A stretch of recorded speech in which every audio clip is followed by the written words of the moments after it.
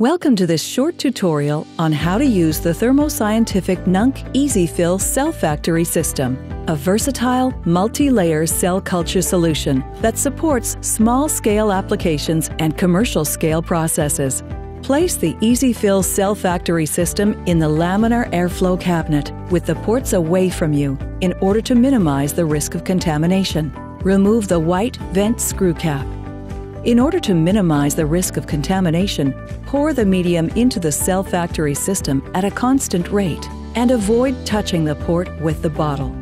Make sure that the edge of the port is dry after filling. Then replace the white vent cap and tighten it.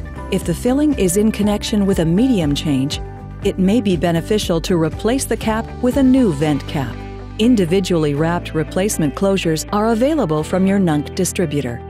To equilibrate the media level in all chambers, place the cell factory system on the long side with the small port. The white vent closure port should be at the top. This orientation is important as it will prevent the vent filter from getting wet. Once the medium has settled to the bottom, turn the cell factory system 90 degrees so that the short side has the ports facing up. The medium has now been separated into equal amounts in each chamber.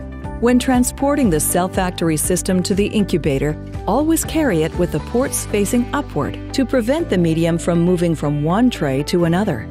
Place the EasyFill cell factory system on the incubator shelf. Incubate according to your established protocol. To empty the EasyFill cell factory system through the smaller port, remove the blue cover cap and loosen the white vent cap approximately three quarters of a turn. Then simply pour the medium into the bottle.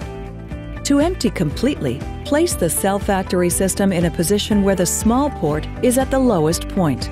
Avoid physical contact between the port and bottleneck to prevent contamination.